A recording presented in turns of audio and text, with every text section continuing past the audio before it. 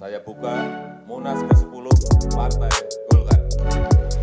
Presiden Joko Widodo membuka musyawarah nasional atau Munas ke-10 Partai Golongan Karya pada Selasa malam 3 Desember 2019. Munas ini akan berlangsung dari 3 sampai 6 Desember 2019 di Jakarta. Dalam sambutannya, Jokowi kembali membantah adanya intervensi Menteri Sekretaris Negara Praktikno untuk mengumpulkan DPD-DPD Partai Golkar dan mengajak untuk memilih Erlangga Hartarto sebagai Ketua Umum Partai Golkar. Ia berani menjamin hal tersebut tidak terjadi. Saya sementara ini ketua Indonesia saja.